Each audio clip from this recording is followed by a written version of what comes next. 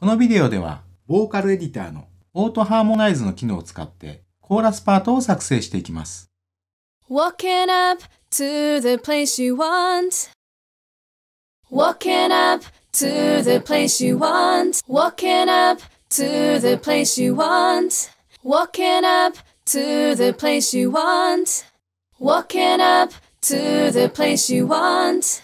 Filling up the hole within your heart. Straighten up if you want see the favorite face. Forever. それでは、オートハーモナイズ機能の使い方を詳しく解説していきます。オートハーモナイズウィンドウでは、ソングで指定したコード進行から、アプローチノート、コード構成音、固定度でのハーモナイズが最大4声まで行えます。マウスの右クリックメニュー、オートハーモナイズから立ち上げます。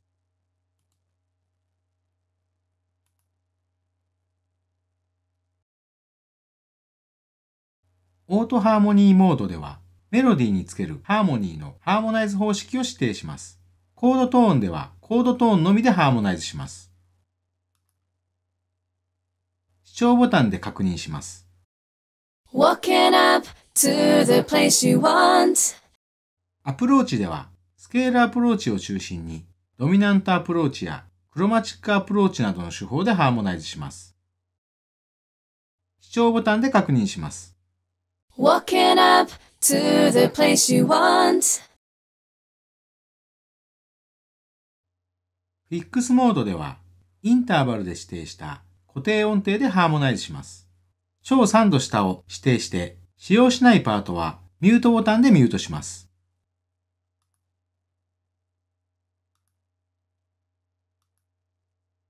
ボリュームのスライダーの上下で音量を調整でき、数値を直接入力できます。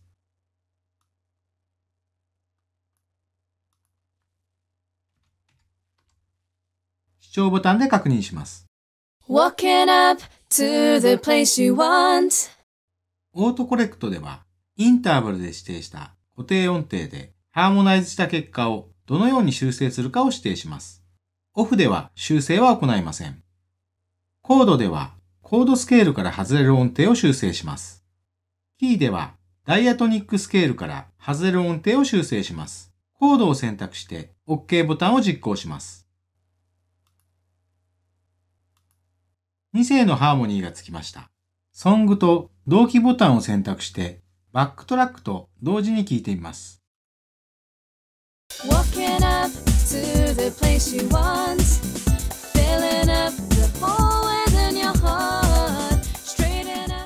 また、オートハーモナイズ後のデータも個別に編集することが可能です。ミキサーをマウスの右クリックメニュー、ミキサーから立ち上げます。ミキサーの各パートのカラーは、ボーカルエディターのバーの色に対応しています。クリックすれば、ラインが無効になり、バーがグレーに変わります。再度クリックすれば、編集可能になります。スライダーの上下で音量が変更でき、直接値を入力できます。ソロ、ミュートボタンでソロ、ミュートが行えます。実際に曲を再生しながらミキサー操作を行います。Walking up to the place you want. Filling up the hole within your heart. Straighten up if you want to see the favorite face. Forever. ボーカルエディターで開いているオーディオデータを MIDI トラックに出力します。マウスの右クリックメニューから MIDI トラックに出力を選択します。出力トラックで出力先のトラックを選択できます。ピッチベンドを出力しないを選択すると、ピッチベンドは出力せず、MIDI ノートのみ出力します。ノートの先頭に出力するを選択すると、各ブロックと音階とのズレをノートの先頭にピッチベンドで入力します。すべて出力するを選択すると、ピッチラインと音階との差をピッチベンドで出力します。ピッチベンドレンジでピッチベンドレンジを設定できます。ベロシティで出力される音符のベロシティを1から127の間で設定できます。OK ボタンでデータが出力されます。MIDI データとしてデータが出力されました。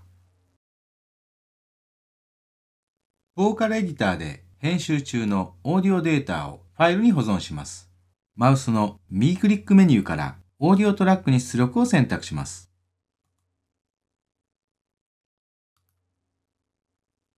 オーディオトラックに出力のダイヤロが立ち上がります。出力で個別に出力するか、一つにまとめて出力するかを選択します。個別に出力を選択した場合、どの音を出力するかをチェックボックスで選択できます。また、出力トラックで出力先のトラックを選択できます。わかりやすいように新規トラックにすべて出力します。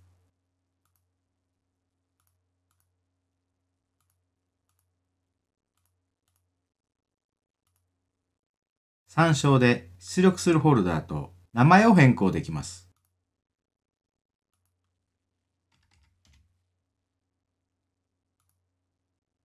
OK ボタンでデータが出力されます。新たなトラックにデータが出力されました。オートハーモナイズで作成して保存済みの和音データなどを和音として追加することができます。同時に最大3つのデータを和音として追加することができます。和音を追加するにはマウスの右クリックメニュー和音を開くを選択します。チェックボックスで追加したい和音をチェックします。参照で追加したい和音データを選択します。OK ボタンで和音データが追加されます。